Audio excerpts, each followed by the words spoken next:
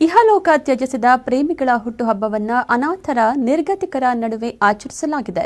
ದಿವಂಗತ ಧನುಷ್ ಹಾಗೂ ಸುಷ್ಮಾ ಇಬ್ಬರೂ ಕೂಡ ತುಮಕೂರು ಜಿಲ್ಲೆಯ ಗೂಳೂರು ಹೋಬಳಿಯವರು.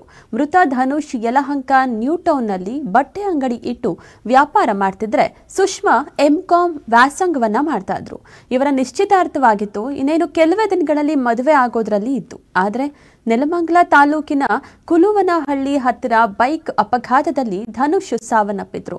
ಮದುವೆ ಆಗಬೇಕಿದ್ದ ಹುಡುಗ ಮರಣದ ಸುದ್ದಿ ಕೇಳಿ ಸುಷ್ಮಾ ತೀವ್ರ ಆಘಾತಕ್ಕೊಳಗಾಗಿ ಮೂರು ದಿನಗಳ ನಂತರ ಆಕೆಯು ಆತ್ಮಹತ್ಯೆ ಮಾಡಿಕೊಂಡಿದ್ದಳು. ಸಾವಿನಲ್ಲಿ ಒಂದಾದ ಈ ಜೋಡಿಯನ್ನ ಕಳೆದುಕೊಂಡ ಕುಟುಂಬ ದಿನನಿತ್ಯವೂ ಕಣ್ಣೀರಿನಲ್ಲಿ ದಿನ ಕಳೆಯುತ್ತಿದ್ರು. ಸದ್ಯ ಅವರ ಹುಟ್ಟುಹಬ್ಬವನ್ನ ಸಾರ್ಥಕವಾಗಿ ಆಚರಿಸಿದ್ದಾರೆ.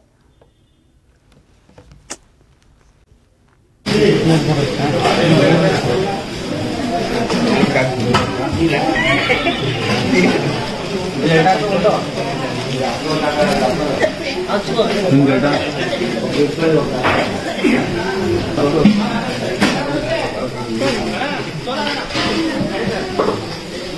Yeah.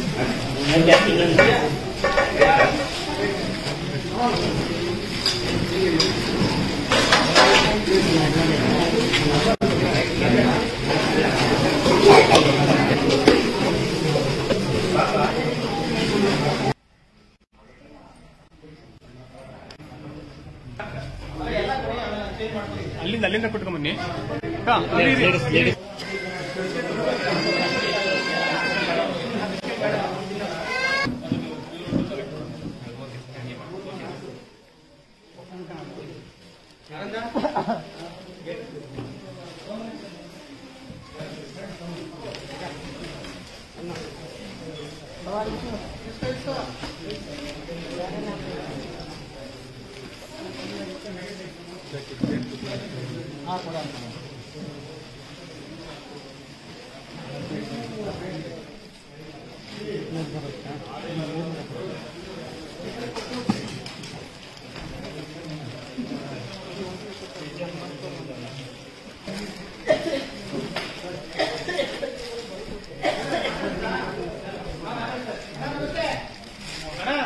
ना खड़े कर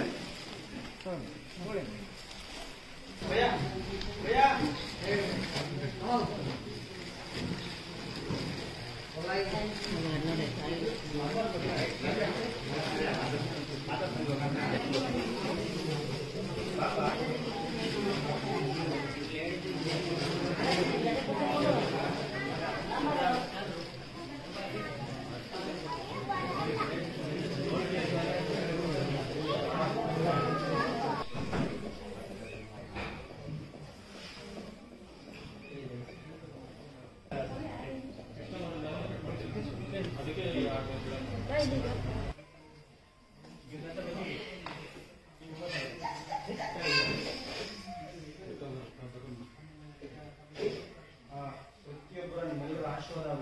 ಅಕ್ಕ ಸ್ವಲ್ಪ ಸೈಡ್ಗೆ ಸೊ ಇಡೀ ಕರ್ನಾಟಕದಲ್ಲಿ ಸಾಕಷ್ಟು ಜನ ಇದ್ರ ಬಗ್ಗೆ ತಿಳ್ಕೊತಾರೆ ಯಾಕಂದ್ರೆ ಅವ್ರ ಬಗ್ಗೆ ಸಾಕಷ್ಟು ಜನ ಗೊತ್ತಿದೆ.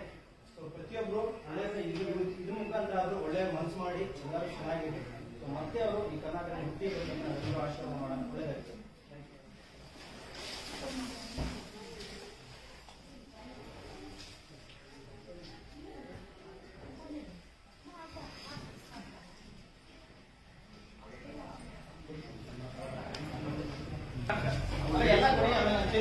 ಅಲ್ಲಿಂದ ಅಲ್ಲಿಂದ ಕೊಟ್ಕೊಂಡ್ ಬನ್ನಿ.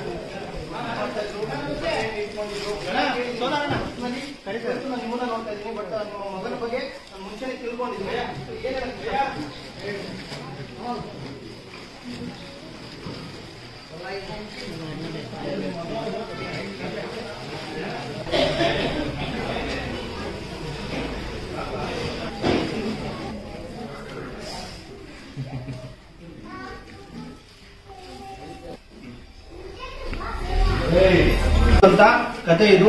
ಸುಶ್ ಅವ್ರದ್ದು ಮತ್ತೆ ಸುಷ್ಮಿತಾ ಅವ್ರದ್ದು. ಅವ್ರದ್ದು ದುರಂತ ಅಂತ್ಯದಲ್ಲಿ ಆ ಪ್ರೀತಿ ಕೊನೆಗೊಂಡಿದೆ. ಇವತ್ತು ಅವರ ಕುಟುಂಬ ಫುಲ್ಲು ಅವರ ತಂದೆ ಆಗಿರ್ಬೋದು, ಅವರ ತಾಯಿ ಆಗಿರ್ಬೋದು, ಅವರ ಸ್ನೇಹಿತರಾಗಿರ್ಬೋದು ಸಾಕಷ್ಟು ಜನ ದುಃಖದಲ್ಲಿದ್ದಾರೆ. ಬಟ್ ಆದ್ರೆ ಅವರ ಒಂದು ಜನ್ಮದಿನದಂದು ಒಂದು ಒಳ್ಳೆ ಕೆಲಸ ಮಾಡಬೇಕು ಅಂತೇಳಿ ನಮ್ಮ ಒಂದು ಜನಸ್ನೇಹಿ ನಿರಾಶ್ರಿತ ಆಶ್ರಮದಲ್ಲಿ ಇರ್ತಕ್ಕಂತ ಎಲ್ಲ ದೇವರ ಮಕ್ಕಳಿಗೆ ಇವತ್ತಿನ ಪ್ರಸಾದದ ವ್ಯವಸ್ಥೆ, ಜೊತೆಗೆ ಇಲ್ಲಿ ಬೇಕಾದಂತ ಹಣ್ಣು, ಹಂಪಲು, ಪ್ರತಿಯೊಬ್ಬರಿಗೂ ಬಟ್ಟೆ ವ್ಯವಸ್ಥೆಯನ್ನ ಮಾಡಿದ್ದಾರೆ. ತುಂಬಾ ತುಂಬಾ ಧನ್ಯವಾದಗಳು ತಿಳ್ಸಕ್ ನಾನು ಇಷ್ಟಪಡ್ತೀನಿ. ಬಟ್ ಒಂದು ಬೇಜಾರೇನಪ್ಪಾ ಅಂತ ಹೇಳಿದ್ರೆ ದುರಂತ, ದುರ- ದುರಂತ ಅಂತ್ಯ ಯಾಕಪ್ಪ ಆಯ್ತು ಅಂದ್ರೆ ಇವತ್ತಿನ ಯುವಕರು ಎಷ್ಟೋ ಜನ ಗಾಡಿಗಳಲ್ಲಿ ಹೆಲ್ಮೆಟ್ ಹಾಕದೆ ಗಾಡಿಗಳನ್ನ ಓಡಿಸ್ತಾರೆ. ಅವರ ಒಂದು ಮೋಜು ಮಸ್ತಿಗೆ ಎಷ್ಟೋ ಜೀವಗಳು ಹಾನಿ ಆಗ್ತಾ ಇದೆ. ಇದು ಕೂಡ ಒಂದ್ ರೀತಿಯಲ್ಲಿ ಅವರು ಹೆಲ್ಮೆಟ್ ಹಾಕದೆ ಗಾಡಿ ಓಡಿಸಿದ್ರಿಂದ ನಮ್ಮ ಧನುಷ್ ಅವರು ನಮ್ಮ ನೆಲಮಂಗ್ಲ ಹೈವೇಲಲ್ಲೂ ಸರ್ ನೆಲ್ಮಂಗ್ಲ ಹೈವೇಲಿ ಸುಮಾರು ಆರು ತಿಂಗಳ ಹಿಂದೆ ಸಾವು ಗಿಡಗ ಆರು ತಿಂಗಳ ಹಿಂದೆ ಅಪಘಾತದಲ್ಲಿ ದುರ್ಮರಣವನ್ನ ಹೊಂದ್ತಾರೆ. ಅದನ್ನ ಕೇಳಿದಂತ ಅವರ ಅಂದ್ರೆ ಏನ್ ತುಂಬಾ ಪ್ರೀತಿ ಮಾಡ್ತಾ ಇದ್ರು. ಅವರು ಸುಸ್ಮಿತಾ ಮೇಡಮ್ ಅವರು ಕೂಡ ಕೇಳಿ ಎರಡೇ ದಿನಕ್ಕೆ ಅವರು ಕೂಡ ಸೂಸೈಡ್ ಮಾಡಿಕೊಂಡು ವಿಧಿವಶರಾಗ್ತಾರೆ. ಬಹಳ ಬೇಜಾರಾಗತ್ತೆ. ಇವಾಗ ನಾನು ಕೇಳಬೇಕೋ ಬೇಡವೋ ಗೊತ್ತಿಲ್ಲ, ಬಟ್ ಆದ್ರೆ ಈ ವಿಡಿಯೋ ಇನ್ನೊಬ್ಬರಿಗೆ ಒಂದು ಸ್ಫೂರ್ತಿ ಆಗ್ಲಿ, ಜೊತೆಗೆ ಇನ್ನೊಬ್ರು, ಆ, ಒಂದು ಬದಲಾವಣೆ ತರ್ಕೊಳ್ಳಿ. ಯಾಕಂದ್ರೆ ಎಷ್ಟೋ ಕುಟುಂಬಗಳಲ್ಲಿ ತನ್ನ ತಂದೆ ತಾಯಿ ಇದಿರೋ ಮನೆಯವರು, ಫ್ಯಾಮಿಲಿ, ಹೆಂಡತಿ ಮಕ್ಕಳು ನಿಮಗೋಸ್ಕರ ಮನೆಗೆ ಬಂದೇ ಬರ್ತಾರೆ ಅಂತ ಕಾಯ್ತಾ ಇರ್ತಾರೆ.